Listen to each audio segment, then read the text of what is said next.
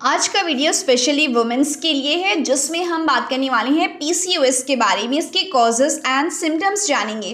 तो देखिए पीसीओडी का फुल फॉर्म है पॉलिसिस्टिक ओवरी डिज़ीज़ जिसे आम बोलचाल की भाषा में हम पीसीओडी या फिर पीसीओएस भी कहते हैं, ठीक है? ये ना महिलाओं को प्रभावित करने वाली एक कॉमन सी प्रॉब्लम है हेल्थ प्रॉब्लम जो हार्मोन में ना असंतुलन या फिर हार्मोनल इम्बैलेंस की वजह से होती हैं।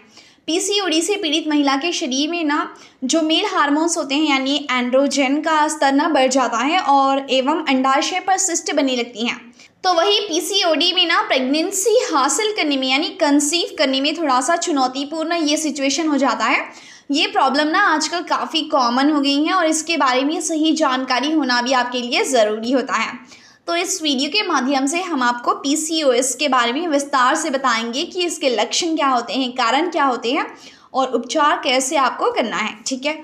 तो यहाँ पे सबसे पहले इसके कॉजेज़ के बारे में बात करते हैं। तो इसके बहुत सारे कारण हैं, जैसे हार्मोनल असंतुलन, जैसे मैंने आपको बताया। पीसीओएस का मुख्य कारण ना हार्मोनल इम्बैलेंस होता है, जिसमें एस्ट्रोजन और प्रोजेस्टेरोन के स्तर में बदलाव होता है, ठीक है? और दूसरा कारण है अनुवांशिक कारण।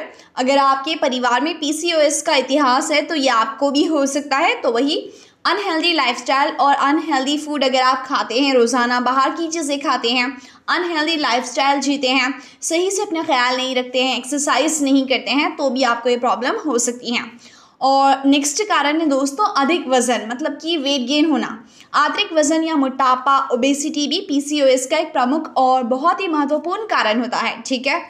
तो वही ना दोस्तों इंसुलिन का असमान उत्पादन। अगर आपके शरीर में असमान तरीके से इंसुलिन का लेवल बढ़ रहा है तो उसकी वजह से भी आपको पीसीओएस हो सकता है, ठीक है?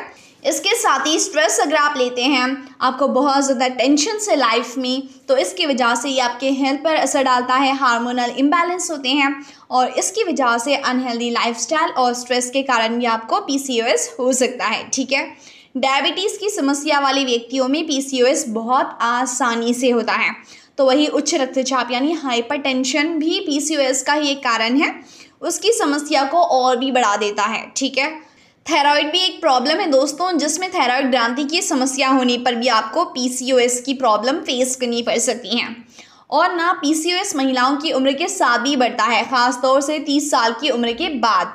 और अन्य अस्पष्ट कारण भी होते हैं, कुछ कारण अज्ञात हो सकते हैं जिनका पीसीओएस में योगदान हो सकता है, ठीक है? ये सभी तो हो गए हैं पीसीओएस या पीसीओडी होने के कारण, अब हम जानते हैं इसके लक्षण क्या होते हैं।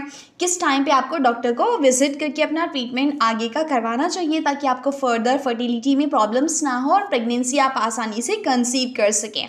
नई तकनीक के साथ आपके लिए पेश करते हैं H Y five in one magnetic wireless charger ये wireless Apple compatible device charging stand build किया गया है with twelve pieces strong magnets जो प्रोवाइड करता है आपके सेलफोन की एक्यूरेट अलाइनमेंट और इसकी सबसे अच्छी क्वालिटी है इसकी anti slipping and place saving design इसमें सबसे अच्छा फीचर जो आता है वो है alarm clock and night light के साथ.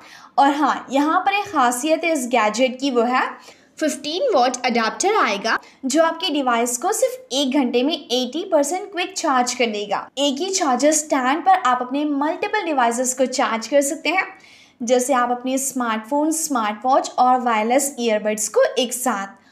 इसे बाय करने के लिए आप विज़िट करें हमारे अमेज़ॉन स्टोर पे। इसकी लिंक आपको वीडियो के डिस्क्रिप्शन में दी गई है। तो यहाँ पे इसके सिम्टम्स की बात करें तो बालों का झड़ना इसमें होता है, बहुत ज़्यादा आपको हेयर फॉल होता है। त्वचा में ना कील, मुहासे पिंपल्स ब्रेकआउट्स आपको हो जाते हैं। तो वहीं मूड स्विंग्स होते हैं आपके। अनियमित मासिक धर्म इरेगुलर पीरियड्स या फिर पीरियड्स के दौरान बहुत ज़्यादा आपको ब्लीडिंग होती है या कम ब्लीडिंग की प्रॉब्लम होती है। टाइम पे पीरियड्स नहीं आते हैं। अगर पीरियड्स आ भी गए हैं तो इसमें आपको बहुत ज़्यादा पेनफुल पीरियड्स को फेस करना पड़ता है, ठीक है? तो वहीं दोस्तों, अगला कारण है गर्भधारण करने में आपको बार बार प्रॉब्लम आती है, यहाँ तक कि गर्भपात भी हो सकता है, ठीक है?